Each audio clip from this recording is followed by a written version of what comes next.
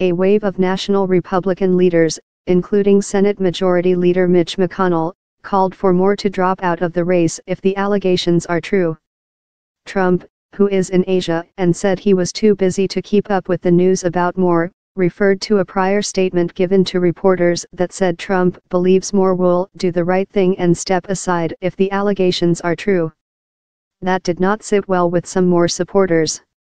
I'm really upset at my own party for condemning him so quickly, said Tom Byers, who came to hear Moore speak at the Mid-Alabama Republican Club at a library in Vestavia Hills, Alabama, on Saturday. Even with the president, you know, he had some trouble, too, and he's turned around and tried to condemn Roy Moore to step down. The staunch GOP audience, which included state Supreme Court Justice Glenn Murdock and members of Alabama's Republican National Committee, gave Moore a standing ovation when he finished speaking. Moore denied claims in the story that he had provided beer and wine to women too young to buy it themselves, or that he'd had sexual contact with a 14-year-old girl. I have not provided alcoholic beverages, beer, or anything else, to a minor, Moore said. I have not been guilty of sexual misconduct with anyone.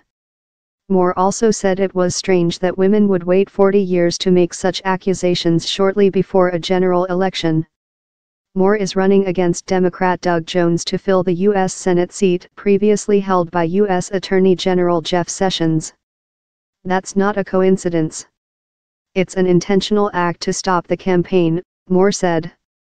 But a lawyer for one of the women quoted in the Post report said the women whom Moore victimized were young teenagers while he was a powerful prosecutor.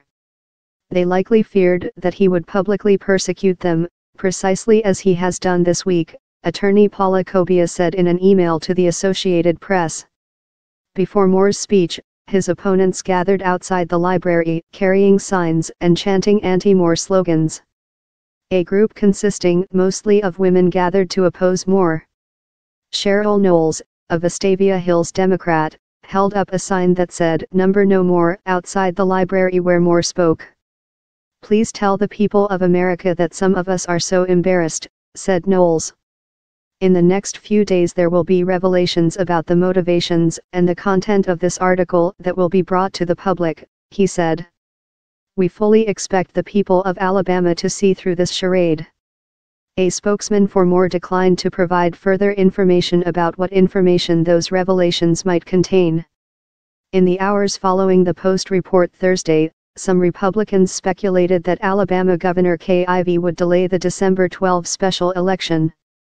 However, Ivey spokesman Josh Pendergrass said Saturday that Ivey is not considering and has no plans to move the special election for U.S. Senate. Associated Press writer Kim Chandler reported from Montgomery, Alabama.